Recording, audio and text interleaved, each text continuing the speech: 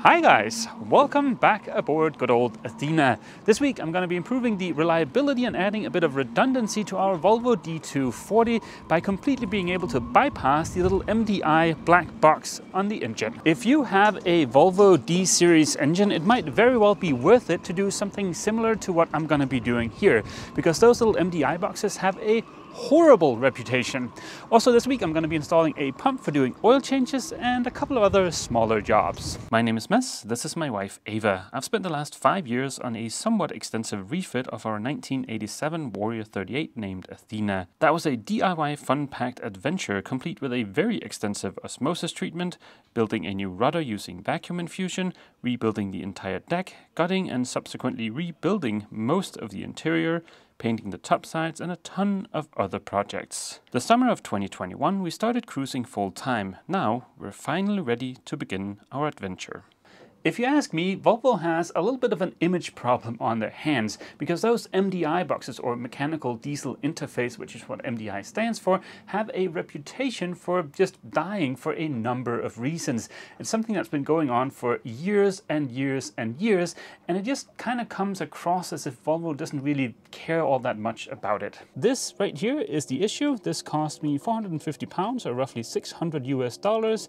That is a pricey ticking time bomb. The MDI box is the link between the controls here in the cockpit and the engine. So if the MDI box dies, then we won't be able to start and stop the engine from the cockpit. I can still hotwire the starter with a screwdriver, but that's not really going to be a lot of fun in any kind of a sea state. And also, if we do that, we won't have anything monitoring oil pressure or engine temperature, so certainly not ideal. In this video, I hope to be able to add some redundancy to our engine so that we can, one, turn the engine on without the MDI box and without using a screwdriver. Two, be able to monitor coolant temperature and oil pressure, again without the MDI box. And three, be able to automatically turn on and off our high output alternator, again without the MDI box. This project is going to be a great opportunity to play around with some relays. Relays are great for controlling high current devices, like for instance this horn, using a low current circuit. And relays are something every boat owner should be familiar with, if for no other reason than to be able to diagnose when you've got a bad one. The relays I've got here are double relays. That is simply just two relays smushed together independently of each other in one enclosure.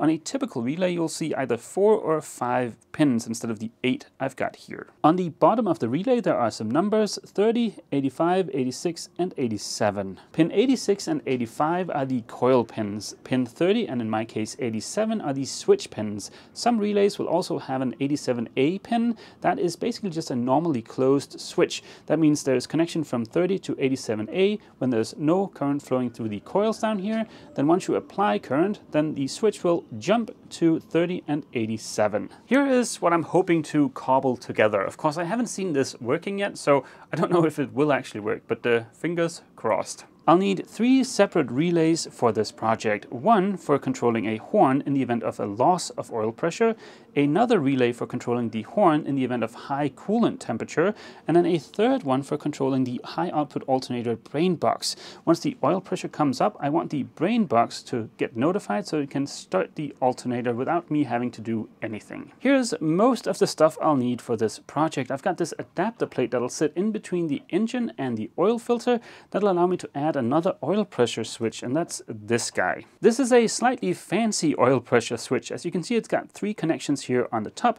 On a typical pressure switch, you might only find one connection, but that's because this guy has built in both a normally open and normally closed switch. I've got two of these double relays. I only really need three relays, but that's okay. I've got this temperature controller for monitoring the coolant temperature, and of course this horn for letting us know if the coolant temperature or the oil pressure is out of whack. Last but not least, I've picked up this engine start button so that we can still start the engine in the event of an MDI failure without resorting to the hot wiring screwdriver method. All of this hinges on me being able to install this oil pressure switch on the engine using this adapter plate. So that's going going to be our first job. But before we get to that, I need to drain the oil from the engine. And uh, to do that, I figured it'd be a good idea to install this guy. This is a Marco UP3 oil gear pump. It's specifically made for doing stuff like this, for transferring oil. And this is something that I think is gonna make our life a lot easier in the future. The suction side of the pump gets connected to this that we can then use to suck out the pump from the engine, the sail drive, and also the genset. On the output side of the pump, we'll have this hose that we can just put into any container for discarding the used oil.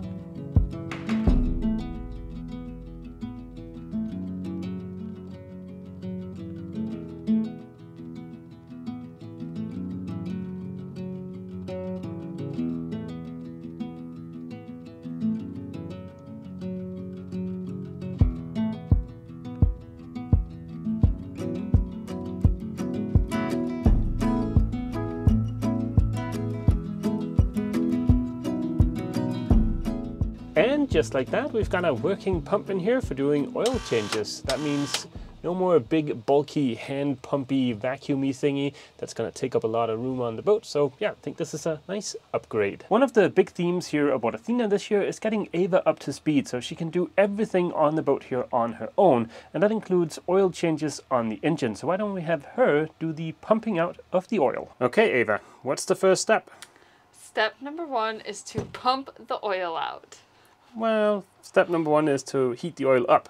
Right, right, right, right, right, right. As it's very commonly known that to heat up the oil, you have to turn on the engine. You gotta press and hold. With the new fancy pump, I'm pretty sure we could easily pump out the oil without running the engine first, but running the engine is certainly going to lower the viscosity and make the pump's life just a little bit easier. With the engine nice and warm, the next step is to find the dipstick. Ava, where's the dipstick? Uh, right here. Nice. Good job. if you look on your right hand side, there is a yellow tubey thingy. Found it. Okay. How far in? Just push it as far as it'll go. Okay. Now you grab the empty oil container that's right behind you. Yep, that guy. Mm-hmm. Just gotta make sure that valve is open. Okay. And we know that is oh there. Okay, that's open. Three, two, one.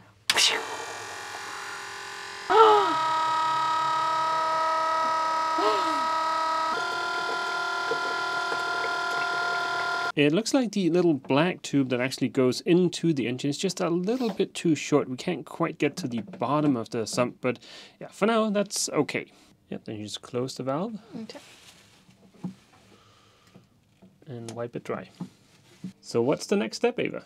We have to replace the filter.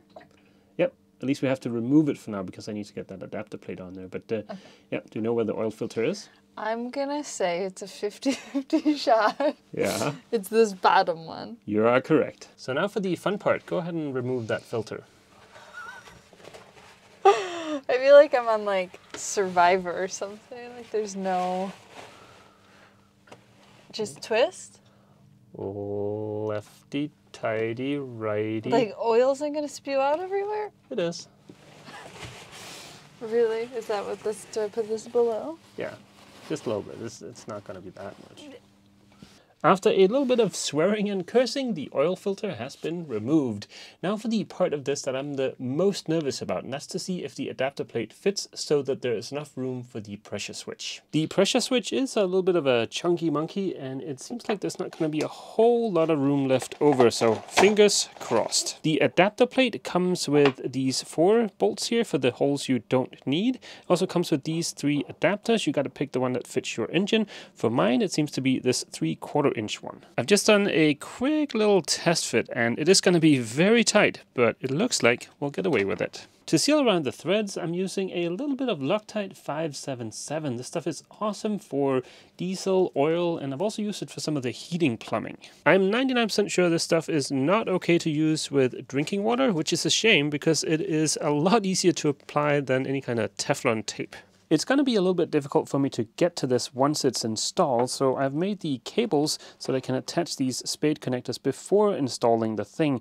And I've even labeled the cables here so I can see which one is the common, normally off, and normally on. Let's cross our fingers and hope that the adapter with the giant pressure switch on there still fits. The O-ring is going to be facing the engine, and then this is going to go through here and actually secure the thing in place and also allow us to attach the oil filter again. The adapter should now be in place. It was a little bit of a fiddly job to tighten this guy, but he should be on there now.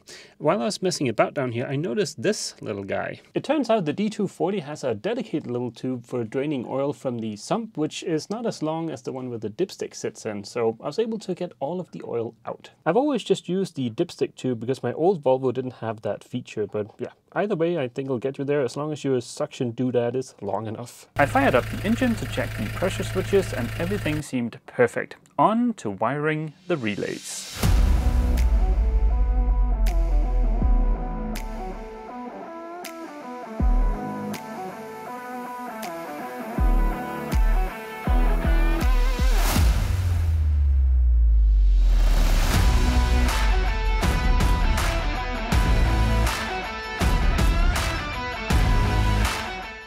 I've always wanted Athena to look like she had some kind of mysterious doomsday weapon installed, and this box is probably the closest I'm ever gonna get. The innocent looking switch down here simply just turns on the light in the engine compartment. The more dangerous looking switch up here with the toggle guard arms the system. Once the system is armed, then the horn will start howling until oil pressure comes up, then it'll shut off, and it'll only come on again if oil pressure drops or if this temperature controller gets tripped because the coolant gets too warm. By having the horn come on as soon as we arm the system and until oil pressure is up, every time we use this box to start the engine, well then we'll get to test the system to see that the horn works. Now keep in mind this box is only for use if the MDI box fails again. But yeah, if that happens, then starting the engine is as simple as arming the system and hitting this engine start button. To be able to have the engine start button located here on the box, I have used a slightly beefier relay here, a 100 amp one. Right now, this is looking a little bit messy, but before I start trying to tidy this up, I just want to do a quick little bench test to see that all of this is working the way it's supposed to. If I turn on my little power supply here, then we should see 12 volts. If I turn on the lights also, we should see 12 volts here. Yep. You can also see that the temperature controller here has come on even before we've armed the system. I figured that was a nice little detail always to be able to see the temperature. Of course, I don't have the oil pressure switch here, but I can fake it by simply just taking this wire that is for the pressure switch and connecting it to the negative on the light side. And that means once I arm the system, the horn should start a howling. This is supposed to be 105 decibels, so uh, yeah, this is probably gonna be loud. Yep, that was very unpleasant. Let's disconnect this pressure switch again, just to fool the system into thinking that the oil pressure is good. Now we should be able to arm it without having the horn go off. Ah, phew. Now if I press the engine start button, we should hear the relay clickety-clacky. Nice. As you've seen, this just consists of three relays, a temperature controller, a couple of switches, and the horn. Very simple, but this is going to be really nice to have if or when the MDI box dies again. After having replaced the Wago nuts with a little bit of solder to connect all the wires, it still looks a little bit messy in here, but I think I will be able to close the lid and then the mess in there will just be our little secret. I've chosen to mount the box here inside of the engine compartment. It's very easy to get access to this area, so in case we need to turn on the engine with the box, it's not a big deal, and this will give me the shortest run and the least messy wiring. In the video, it's only been a split second, but in reality, it's been about six hours, and I'm a little over halfway done wiring this thing up, but at least now I've got lights in the engine compartment. The better to see all the dirt and grime. Maybe next week I can persuade my lovely wife to clean the engine compartment. That would be really awesome. But uh, yeah, let me get the last bit of wiring out of the way. Pardon the mess in here, but the brain box for the high output alternator is now hooked up to that relay and it turns on and off with the engine Yes. That might not sound like a big deal, but up until now we've had to manually turn on the alternator when we went sailing and then remember to turn it off, otherwise we could damage the alternator. So having that be automatic is a big step up. I believe I could have gotten ignition or a plus 12 volts when the engine is running, which is what the brain box needs to turn on, but then I would be relying on the MDI box. I think having the alternator come on when the oil pressure comes up in the engine is a much better solution. But uh, yeah, let me go ahead and wire up the last bit of stuff. I've made myself a couple of cables here. Those are attached to the relay. I'm going to attach the other end to the center pin here and this yellow and red one. While I'm at it, I'm gonna go ahead and move the MDI box off of the engine and onto the side of the engine compartment. Some of the forum posts I've read about the MDI boxes mention that maybe vibration and heat is not the best for them. So yeah, anything to see if we can prolong the life of the little thing. The MDI box is now firmly mounted on the side of the engine compartment and I've connected the relay. It's not mounted yet, but it's connected. I've disconnected the horn, so there won't be that blaring now, but uh, go ahead and take the system for a spin. Of course, if the MDI box fails, then I can't stop the engine out from the cockpit, but there is a little manual stop here on the side of the engine. Right down here. And it even very conveniently says stop on it. I am thoroughly pleased with my Doomsday box. I've attached the probe from the temperature controller to the freshwater side of the engine's cooling system with a little bit of silicone tape and a zip tie. Unfortunately, I've run out of conduit, so that's why the wiring for the lights is just dangling here, but uh, yeah, I can fix that next week. I think easily being able to turn on the engine, even with a dead MDI box, and still being able to monitor oil pressure and temperature is a big improvement and it gives me a good amount of peace of mind. I really wish Volvo would offer something like the box I've built here considering the reputation of their MDI boxes. But then again, if it was offered by Volvo, it would probably be horrendously expensive.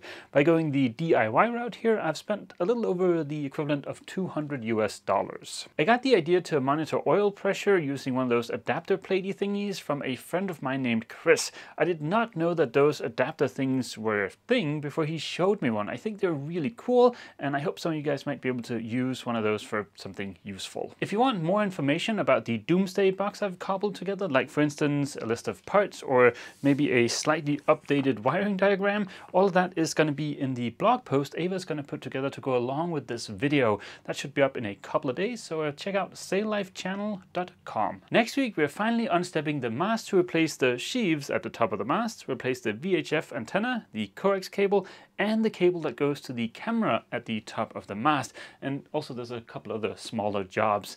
And also next week, if the wind comes down a little bit, I should be able to get the first of the two solar panels on our solar arch installed. On that hopeful note, we'll end this week's video here. We hope to see all you guys back here aboard Athena next week for yet more DIY fun. As always, feel free to leave a comment down below and don't forget, if you've enjoyed this video, Please remember to leave a like. See you!